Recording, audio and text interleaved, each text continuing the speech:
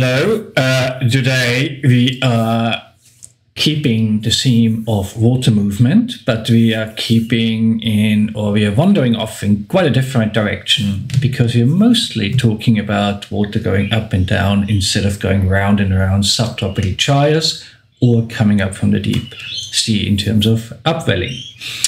Now, this chap here is, in case you actually think I'm stark mad, mad as a hatter, which is always the you know default position you need to take for every academic. Uh, this chap here is called Geoffrey Chaucer. Now, Chaucer was a peculiar fellow, and he gave us quite a few, I should say, rather interesting uh, expressions in English, which still stay with us today. Now, Chaucer was best known for, oh, come on, uh, you know, a few peculiar works in the Middle Ages. He was literally, in the English language, the most prolific, the best, you know, best known, you know, poet writer of the ages. Now, I quite like that one. It's called the Parliament of Fowls. And the Parliament of Fowls basically mentions for the first time that two little turtle doves bring each other gifts, you know, when they want to make, you know, uh, baby doves, well, lay eggs, you know. Uh, and apparently that is the precursor of the modern custom of Valentine's Day. Now, Chaucer is best known, of course, for his work of the Canterbury Tales.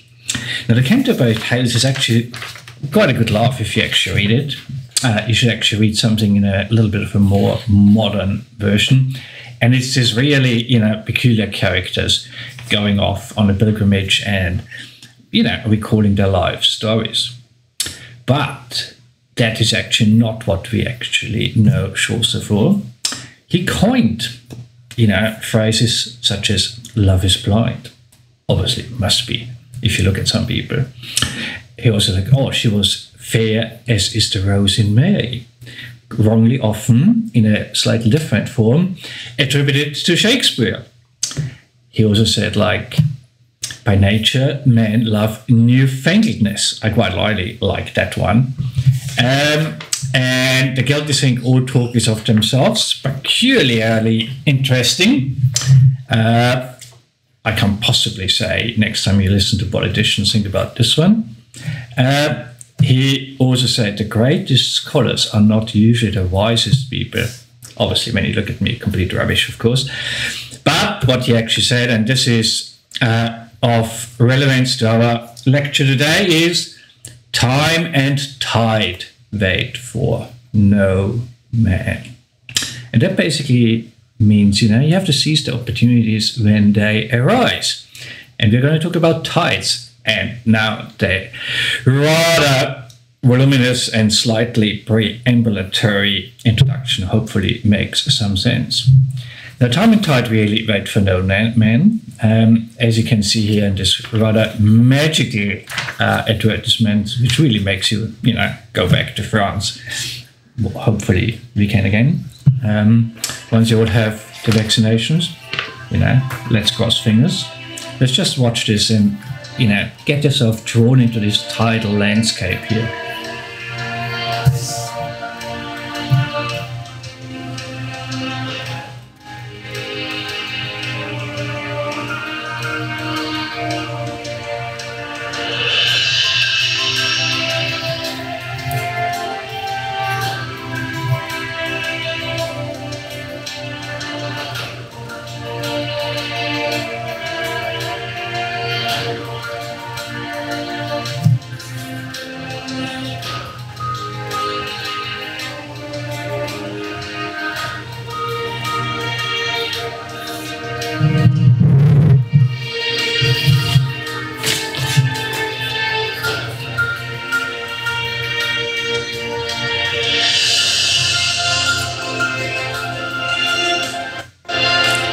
You can see those vast mudflats, and it is said that the lamb which grazes on the saltmarsh plants there produces, you know, the most flavoursome of the Normandy meat dishes. But, you know, it costs fortune, but well it, I actually reckon. Now, I actually thought like, hmm, you know, here we see the tide is in and the tide is out. Quite a stark difference, obviously. And I thought, ooh, let's look for an Australian example. And the only thing I could find, of course, you know, when you go like tidal movement on YouTube, the first thing which comes out is like those guys here. Now, the reason why we're going to spend some time at the next 40 minutes or so explaining in great detail to you the concept of tides is that it always astonishes me that people live on the coast here and yet they actually do not have an understanding of what causes the water to go up and down, up and down, and quite predictably so. And you can actually test it out, go to any barbecue on a weekend, and just sort of gently probe people in between the rugby, cricket, uh, talk. How good are the Queensland Reds this season, aren't they? Um, I shouldn't really say that because I might actually use that lecture again next year and they might be bottom of the table again. No, they won't be. Anyways, as a long suffering Red supporter, you know, next Saturday we're going to beat the Brumbies. Right, where was I? So you can actually do this in between the sports talks and basically sort of ask, you know, hmm, can actually anybody explain to me, please, you know, why we actually have water level variation? And the answer is nobody can really. People say like, yeah, it has something to do with the tides, uh, with the moon. Somebody say, hmm, but it's actually different between spring tides and neap tides. Like again, it's a moon phase thing, but essentially, here are the five know, key characteristics we need to bear in mind. It's a cyclic phenomenon, so it actually repeats itself. It goes over short time scales, so we're talking hours to days, not like decades or centuries, or actually, we're actually shortening that to years almost in the case of sea level rise. It is a variation in sea level at a specific place because tidal ranges and tidal patterns are very different in different types, uh, parts of the world. And we are talking about not just one force, it's not only the moon, we're talking about gravity, inertia, and the movement of the planets. You know, it's like the castle, you know, it's the vibe of the thing. Right, so let's unpack all of that a little bit. Uh, I couldn't really, you know, find a, a, good analogy to, you know, a free wave and a forced wave, but there used to be this movie of this killer whale, you know, based on a true story. And I actually knew the guy who got actually paid for the whole lot. And, you know, when you really have a few beers together, you actually discover that all is not quite as it was uh, depicted in the movie, but nevertheless.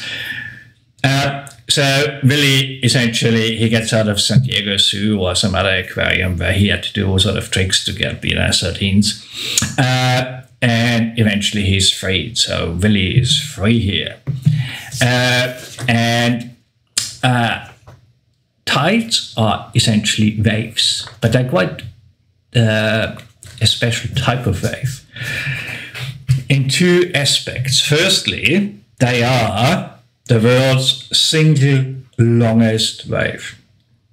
Tides have a wavelength of half the circumference of the Earth, i.e., 20,000 kilometers, give or take, you know, 0.2 millimeters. Uh, we also need to bear in mind that many waves, and I actually just wrote about that yesterday in a paper which we're going to publish on how waves uh, influence the amount of litter which uh, strands on the beach. Uh, that wind can generate waves, and then those waves move away, and they might hit the coast in two or three days' time, many thousands of kilometers, you know, uh, away from the area that were generated.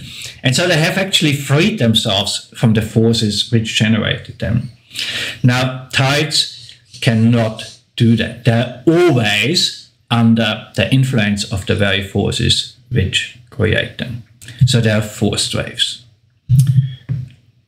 Now, here is a bloke, you know, which we all know very well because much of our classic understanding of physics, which we still use today, uh, was done by a chap, you know, uh, who worked out the principles of universal, you know, gravitational laws apparently based on an apple falling on his head. Here we go, boom, here is Isaac Newton. There's a bit of controversy really what Newton contributed really, or which, you know, and what he actually stole uh, from Leibniz, who was a fellow mathematician uh, in Germany, but let's not go into that. Um, and so that kind of relationship between gravity, particularly the gravitational pull except uh, exerted by the moon, was actually known to humans for quite a long time. Uh, to be exact, the Greek navigators noted that and they actually used it to go through the uh, Herculean Straits, the Straits of Hercules, the Pillars of Hercules, which is the Straits of Gibraltar. That was a trivial pursuit question in the pub quiz on Wednesday, so I remember it. And essentially, you know, not much has really happened, and it took about 2,000 years for us to actually make any headway in understanding that better. But the one formula in that whole thing here, which you have to remember, is the gravitational attraction F is proportional to g, which is the gravitational constant, the mass of body 1 times the mass of body 2 divided by the square of the distance. So, all else being equal, gravitational attraction declines exponentially as you increase the distance between two bodies. And this is essentially Newton's most, you know, famous formula.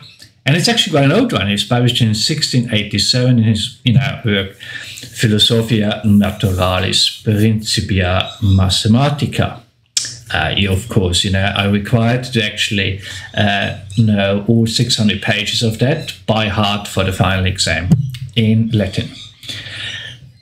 So, why do I torture you with the gravitational formula here?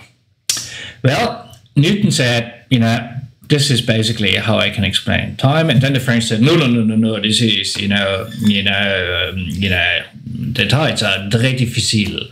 Um, and here is a chap, you know, of course, dashingly looking like we all are. Um, you know, all marine biologists and physicists, you know, not so much the mathematicians really, but never mind, uh, are dashing looking. And Laplace is basically the French equivalent of Newton, more or less, in a not quite in the same time, but in the same epoch. And he basically created fluid dynamics, which is the field of study which explains how fluids, you know, basically move uh, in confined spaces. And two different schools of thought have developed. The one is the equilibrium theory of tides, and other one is the dynamic one. The simple one is the English one, the complicated one is the French one just like cooking, really. They always say, you know, the, uh, um, the, the English can actually do some French cooking. They stand on the white cliffs of Dover with binoculars and look across the English channels and wish they could actually eat over there, but never mind. Uh, and essentially, the equilibrium theory of tides works on a very simple principle. We use Newtonian physics and we assume there's a planet which is uniformly, you know, covered by water. It doesn't have any of those annoying things called continents. And it's a static model, but oddly enough, it works. So if you actually buy yourself a little Rip Curl or what's the other one, Quiksilver, you know, Tide Watch, it's actually based on that very, very simple model. Uh, it's a harmonic model, and it actually is, for all intents and purposes, reasonably right. The dynamic one is basically the French version by Pierre-Simon Laplace. And this is what people use to forecast tidal levels and tidal times for specific places on coastlines, taking the shape, the depths, and so forth of the ocean basins into account. It's a real dynamic model. It's horribly complicated, highly mathematically. It's more accurate. But if you just want to understand the basic principles, you're perfectly fine using this one here. And this is what we're going to use because, you know, I got a simple mind, so I can't possibly do the French mathematical stuff. Right. Uh, the first thing we need to actually keep in mind here is this, you know, great movement here. Uh, you should actually watch this for at least 17 hours. So, uh, and here we got the Earth. I, I, love it that it actually got a little bit of ocean war, you know. Uh, oops, you know, let's do this again. uh, but what is actually very, very important is to note that the Earth is, of course, going around the sun. Uh, we're not actually living under the jurisdiction of the Catholic Church anymore, unless you're in Ireland. Ireland. Um, and so we actually have the uh, heliocentric you know, view of the world, which basically means the sun is the center and the earth is going around. Now, around the earth then is the moon. It's going around you know, our planet. We just had a pink moon, which was rather you know, fantastic. And both the Earth and the Moon are spinning on their own axis. So everything is actually basically in motion. That is the important thing. And the distances are quite different because the distance from the Sun to the Earth is much, much greater than the distance from the Earth to the Moon. So the Moon is actually very close to us, but it's actually small. And that's important to keep in mind. So it is basically this Earth Moon system, right?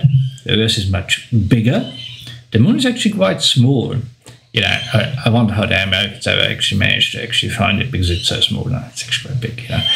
And because uh, it is so much lighter and smaller, the center of mass of that combined system, the Earth and the Moon, is basically sitting in the middle here.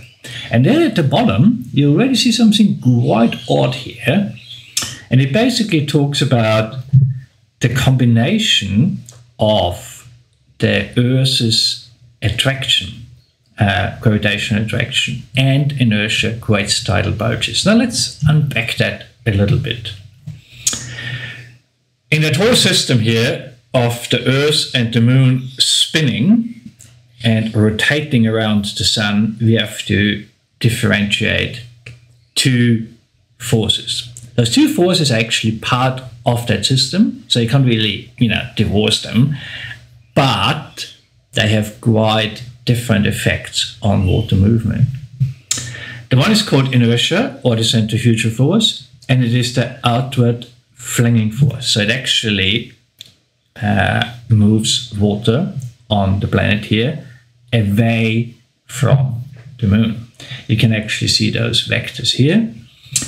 And the strength of this outward directed force is equal at all points on Earth, i.e. those vectors, if you actually ever go sailing and try to work all these things out, you do a lot of vector drawings. Um, I always just uh, look at the sail and say, well, tally ho, let's go. Um, but that's just an empirical approach.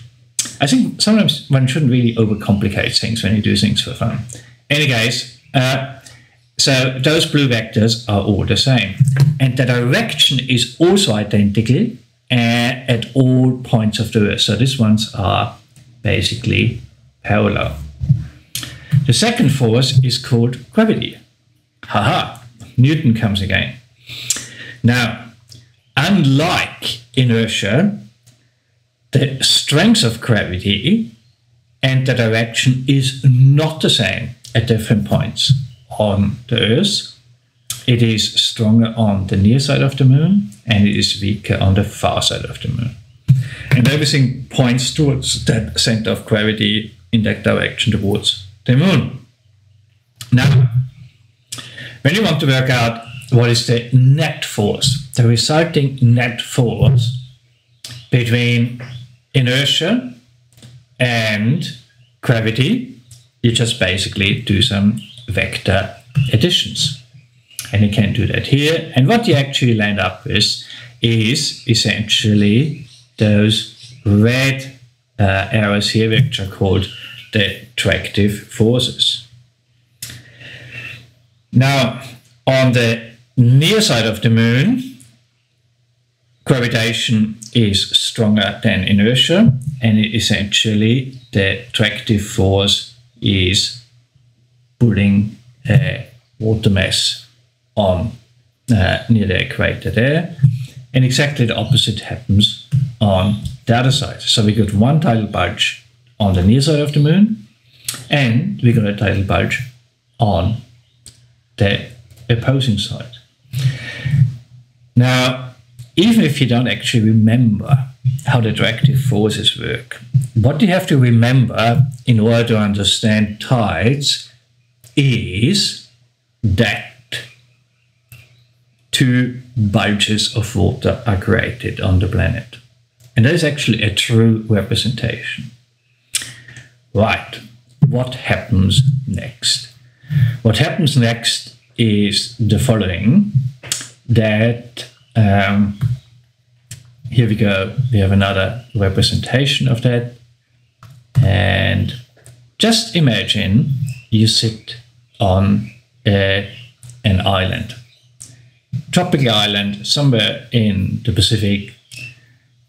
Beautiful, and you might actually, you know, have just landed from the airport, takes a taxi, you know, walk down to the beach and see, oh, well, you know, there's a bit of beach.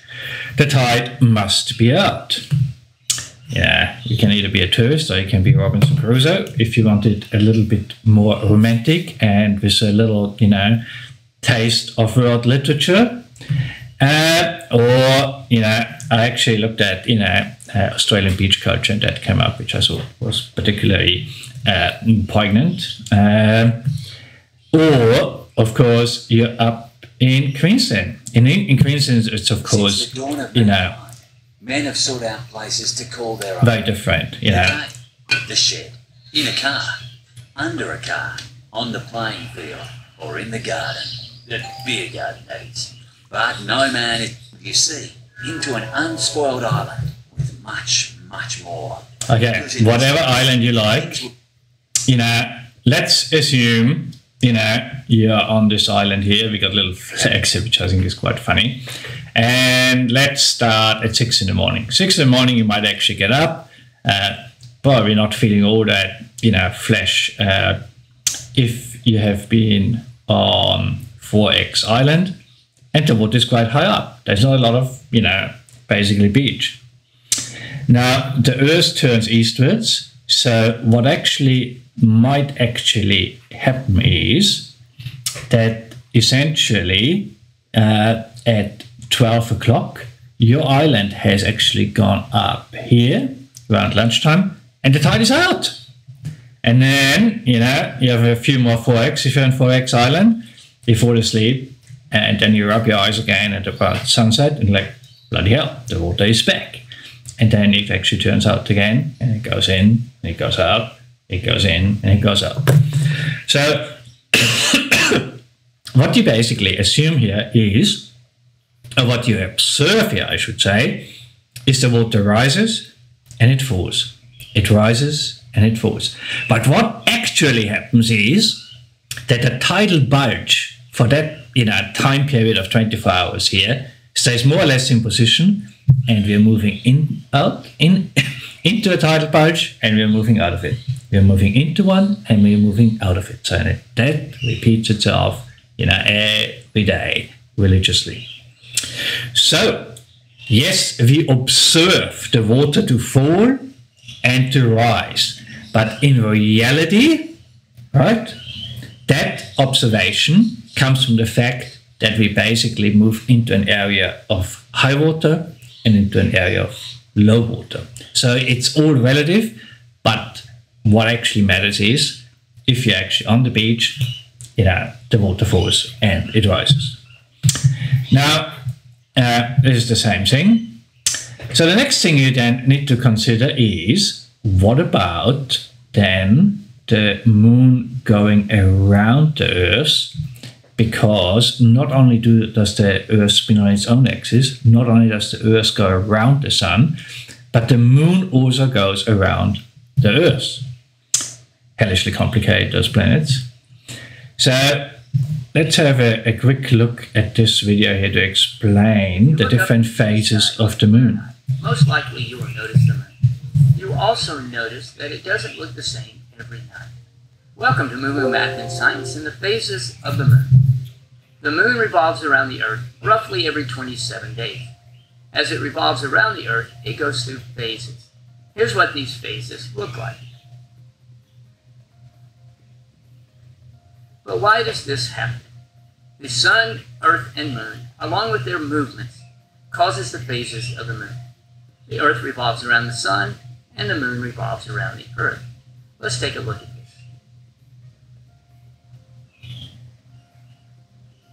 The moon cycle, or lunar cycle, begins at new moon.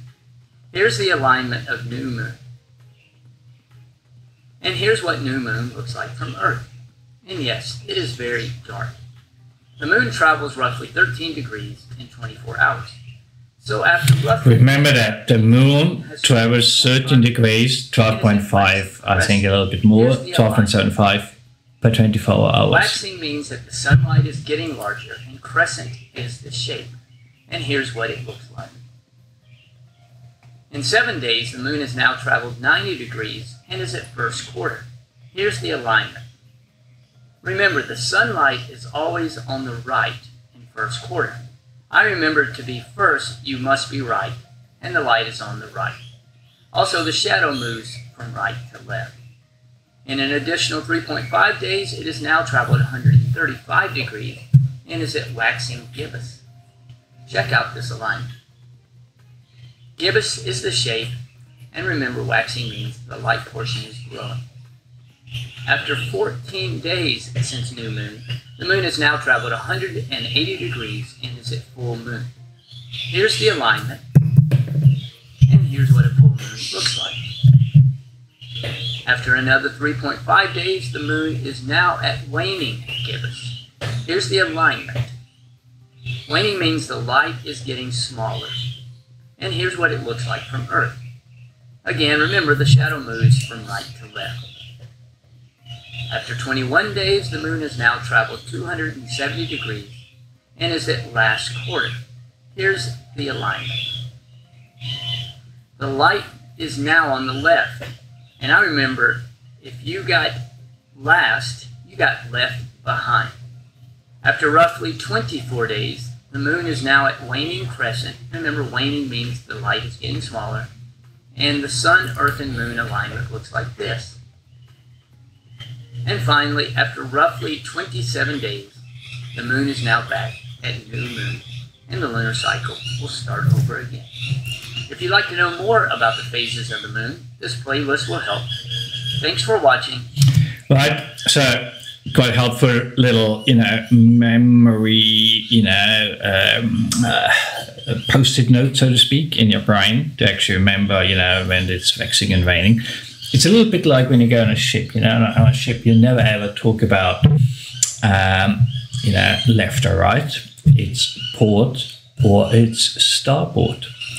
And everybody has a different, you know, way of actually remembering that and translating it. After a while, it should actually, you know, be pretty much uh, uh, become, you know, second nature to you. Uh, I remember one of our instructors saying to us, you know, like, oh, well, when you sail from Cape Town to Durban, all the ports are on the left. And I kind of remember that.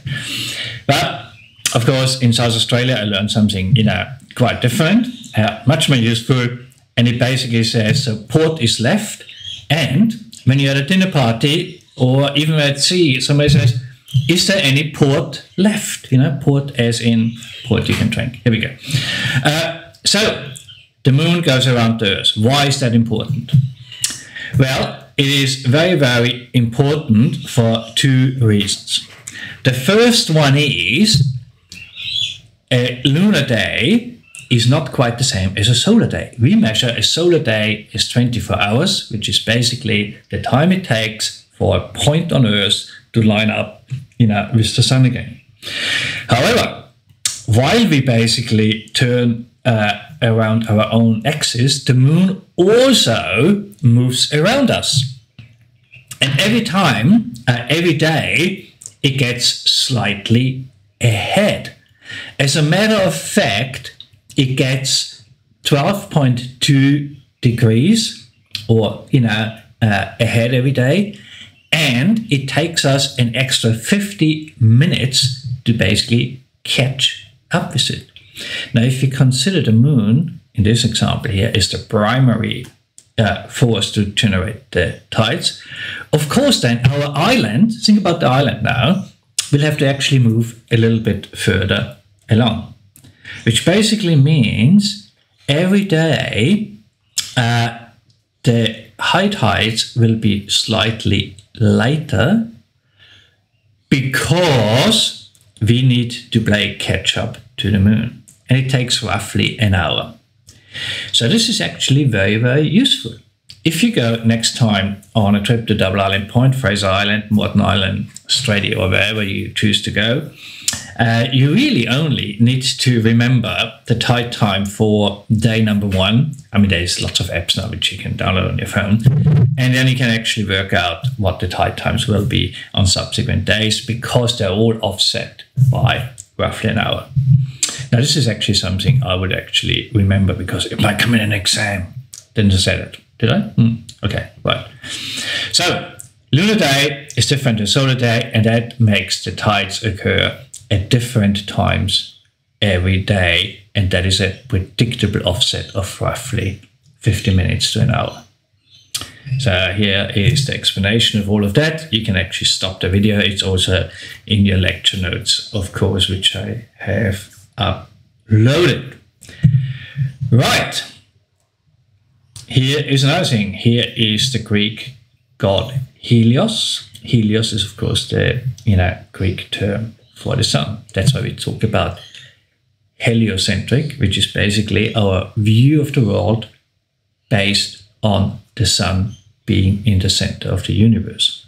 Which of course, you know, got a few chaps into, you know, you know, very big, you know, problems with the Catholic Church to the point of them being killed. So don't mess with the church, you know. Well, I hope it's not bad anymore, but you know, uh, as scientists, we do actually, uh, you know, uh, believe in the heliocentric uh, uh, arrangement of the planets and that bearded uh, man or whatever he may look like, or a you know big spaghetti monster in the sky or whatever it may be. That's a personal matter of belief, but it's not science. Okay, let's not get me saying that. I'm not saying it's wrong. All I'm saying is they're quite different things. Now, theoretically, the sun should have a much, much bigger influence of on the tides because its gravitational attraction is massively larger if we only would consider the uh, okay, I was just checking the microphone. Uh, if you would only uh, consider the mass of the sun, it's 27 million times heavier than the moon. Right. However, the sun's influence is roughly that of uh, the moon because it's 400 times further away. So you might say, oh, 400 times further away, 27 times million. It doesn't really work out. Well, remember the gravitational attraction between any two bodies declines with the square of the distance. That is the trick here. The further you go away, the sharper it actually it, it actually falls exponentially away. Now that means two things. I showed you that video of uh, the moon going around the Earth in the different moon phases because at new moon and at full moon, the gravitational pull of the sun and the moon are in alignment. So they add up. It's an additive force, i.e., the solar tide sits on top of the lunar tide, which basically means high tides are a lot higher and low tides are a lot lower. At first quarter moon and at third quarter moon, we refer to those times as the neap tide. The solar tide is at a right angle to the lunar tide. I wouldn't say they cancel each other out, but basically the planet is more uniformly covered by water. Which basically means at neap tides, i.e., first quarter moon, and third quarter moon, we have much lower tidal variation. Here we go. So here's a typically tidal graph over a lunar month, and you can see spring tides. It could be, you know, basically the new moon. Then we have the first quarter, full moon, uh, uh, third quarter, and you can see very large tidal variations during spring tides and smaller tidal variations during neap tides. Now, every, you know, most points on Earth have roughly two spring and two neap tides per lunar month, and they are roughly speaking offset, you know, by a week, you know, to go from spring to neap, from neap to spring, from spring to neap, as you can see above here. And all else being equal, we find that tidal variation is higher during spring tides. Now here's an emperor. Of course, that's the young Austrian emperor. Uh, I think uh, that's Franz the First. Uh, yeah, this guy, uh, Philip, you know, uh, you know, uh, well, you know, the pure British people. Well, hello, oh, sorry, you know, uh, the Australians are still subjects. Yeah, yeah. There we go. So maybe not so much a queen uh, or the king, but let me not get started on that. Um, I might actually have to call upon Malcolm Turnbull to actually help me out here a little bit. Uh, here's, of course, a superb king, king of the island. Uh, what I want to say here, here is the king of the Tahitians, as you know, he basically you know, met uh, uh, James Cook doing you know some of those Pacific voyages.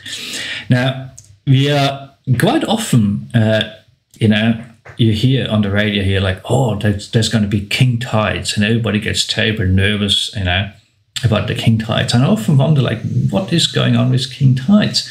And basically it is sort of a popular usage it's a colloquialism which refers in australia to any situation where tidal levels are unusually high. But it's not a scientific term and it is in most instances actually rather unhelpful so when you actually are in the company of empirical scientists working with the ocean, you know, it's actually better not to actually use it. Now, we are finishing this lecture with something uh, which I say right from the outset has nothing to do with tides, but I have to put it in because it is by 99% of newsreaders and journals and common people uh, those common people. Common people are always a pain in the backside, aren't? The peasants, you know. Um, is that you know everybody you know uses a completely wrong term, and we refer to those kind of horrible, absolutely. You know, when you actually watch these things, because you actually have to consider in those events people die and often quite a lot, and livelihoods get destroyed, and it's just and you know not much can be done about that uh, people actually talk about tidal waves. Here's a tsunami, one of the bigger ones in Japan. Now, let's have a look at this.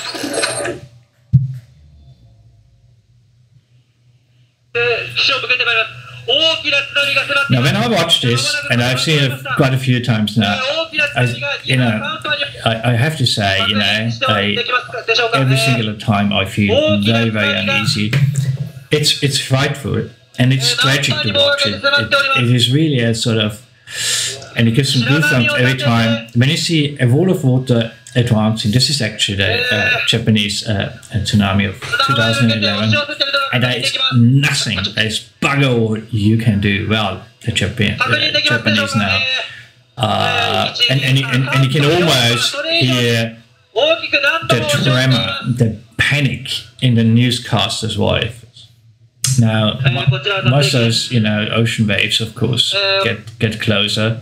Look at this. This is just, it's just awful. Yeah. And I'm only putting this here for two reasons. The destructive power is is so enormous. It basically everything else which we do uh, which we experience on Earth other than massive earthquakes. You know, we, we talk about bushfires in Australia. Yes, very, very tragic. But this is a scale you cannot even imagine unless, you know, one, unfortunately, you know, fortunately never sort of experiences that. And so, what actually happens here? Why does the ocean produce waves which come onto land to become completely and utterly, utterly destructive? Well, um, let's have a look. Those extreme waves are called tsunamis. And very, very often people use the word tsunami in the same sentence as tidal waves. But it's a complete misnomer. It has nothing, a tsunami has nothing to do with tidal waves. And essentially, they are formed by any sudden formation of the seafloor. It can be earthquakes, submarine landslides, submarine uh, volcanic eruptions. So basically, there are seismic phenomena, and that's why the proper term for a tsunami is a seismic sea wave.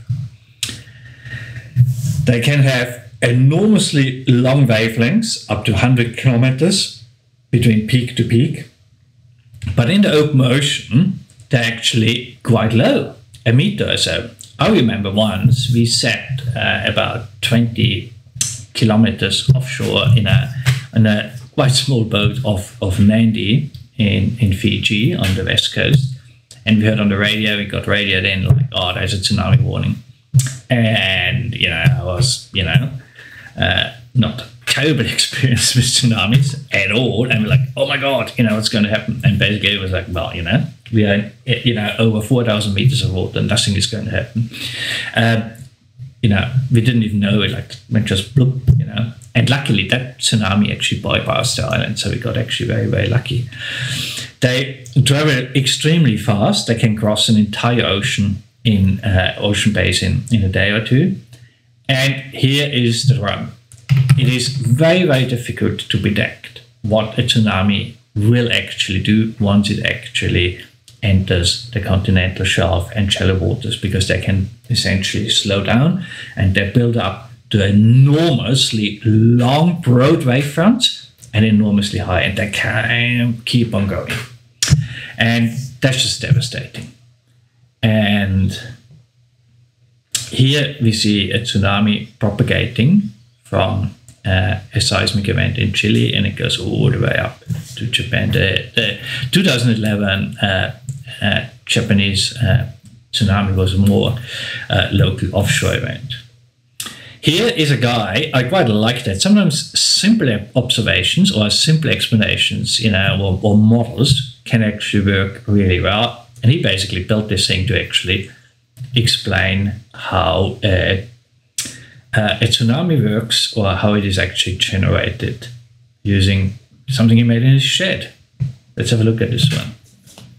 Earthquakes are caused by the movement of the huge tectonic plates that continents sit on. what happens is they come together. One, in this case, the Pacific plate, is moving below the Japanese or Eurasian plate. Now, it causes that plate to bend when it sticks there. There'll be a bit too much friction. It'll stick. Pressure builds up until suddenly it's released. Flick. Have a look at this.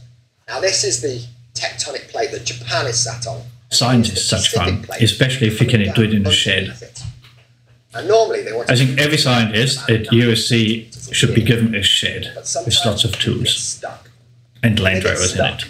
The energy of the moving together gets translated two. strain energy, literally flex and bend in these huge slabs of rock. That energy builds and builds, flexing and bending more and more. When they finally slip, that stored energy. Now think about those two plates. Remember our lectures on plate tectonics? We're talking about thousands of square kilometers. So there's a lot of volume being displaced because it is a very large area of ocean floor. So it only needs to actually lift, yeah, 10 meters or so to actually create a large volume change. So here we've got a bigger submarine version of what's going on. This gives a representation of what's been happening 24 kilometres below the ocean surface in the Japan Trench. And these things work in what they call a stick slip way. Most of the time they're stuck, but occasionally they slip. And that's what an earthquake is. So we've got it here, this, this is bent up here, full of pent up energy, waiting to slip. And when the slip happens, that energy gets released into the ocean, causing a series of tsunami waves, moving in both directions across the Pacific.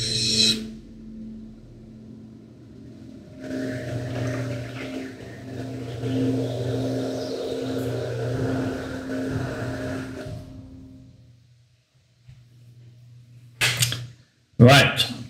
So, you know, here is Earthquakes are caused here is a word of warning.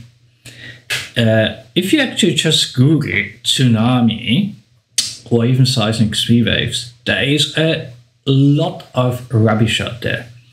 Uh, I think it's just one of those things, you know, where people really love to, uh, you know, you know, hone their video editing skills.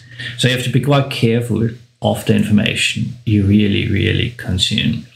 Uh, the best one I actually did find was the one from the National Oceanographic and Atmospheric Agency, NOAA, in the United States, and here's the web address. And you know, you can actually watch lots of uh, tsunami models.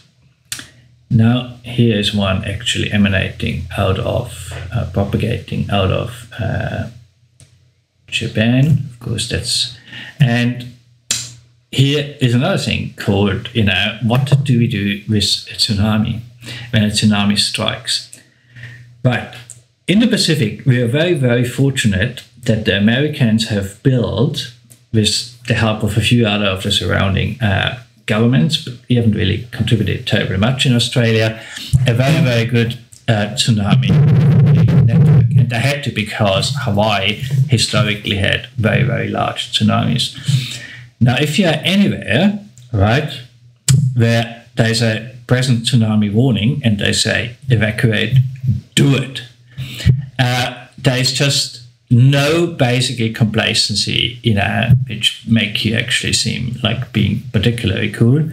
Keep calm and do whatever the authorities do because quite often it is actually not 100% predictable, you know, what a tsunami will do. And I'm saying this because a few years ago, well, about 15 years ago, some of, some of the older folks like me might still uh, remember that, that we had a tsunami warning in Mooloolaba, and the most bizarre thing happened.